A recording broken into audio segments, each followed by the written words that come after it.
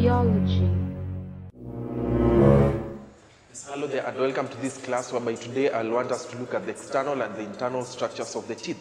So whereby we see that the mammalian teeth has three main zones where the, whereby the first one is the crown which is the portion above the, the gum. So the next the next one we have the roots which is the portion below the gums which is mainly covered by the cement. Then lastly we have the neck which whereby this is a region between the crown and the root of the teeth. So we see that incisors and canines have only one root, whereby premolars have two roots and then molars have three roots. So first forward, let's look at the internal structure of the teeth, whereby, whereby we see that the bulk of the teeth is made up of the enamel, we have the dentine, we have the, we have the pulp cavity, the cement, and finally the periodontal membrane. So let's look at the enamel.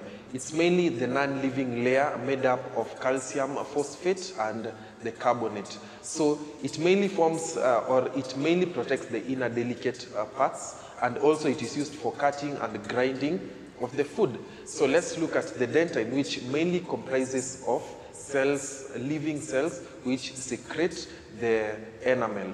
So the next uh, phase we are going to look is the pulp cavity. So the pulp cavity mainly contains the blood vessels and the nerve endings.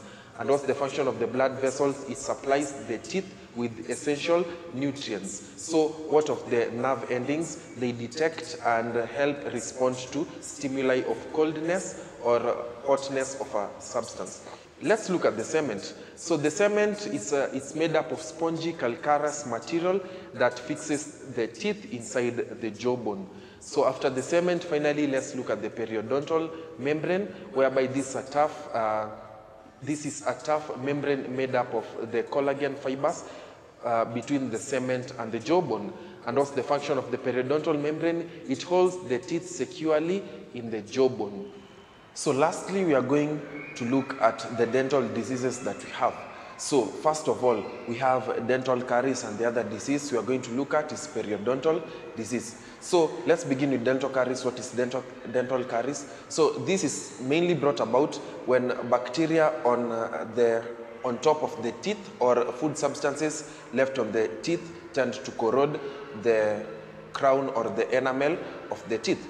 So what really happens is that these bacteria feed on the food that are right inside or right on top of the teeth and then they multiply and they release acidic compounds whereby these acidic compounds are the one responsible for corroding the enamel leading to dental caries or tooth decay. So when the acid reaches the pulp cavity, a strong sharp pain may be felt, whereby this strong sharp pain may eventually lead to the removal of the teeth.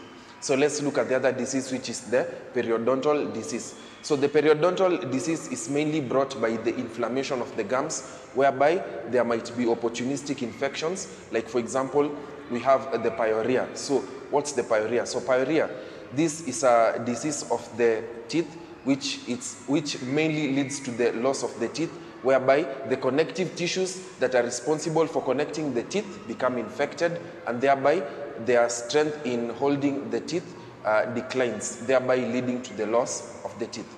So let's look at the other one infection. Uh, the other one is opportunistic disease, which is gingivitis, which mainly is the inflammation of the gums. So the gums may become red, they may swell, they may bleed, and also pus may ooze out of the, of the gums. So what are the treatments for these uh, diseases? So the first treatment will say that we may visit the dentist regularly for a teeth checkup. The other one, we might have root canal treatment. The other one, which is the most easy, we should take foods that are rich in vitamin A and vitamin C. So let's look at the dental hygiene. How can we maintain our teeth to be clean and healthy? So the first hygiene is that we should, we should brush our teeth regularly. Also, we should regularly visit the dentist. Also, for the teeth, we should use the teeth for only uh, the correct purpose. And then we may say that we should always use fluoride toothpaste as this toothpaste make teeth even to be more stronger. So let's meet now on the next class as we continue to discuss more on digestion. Biology.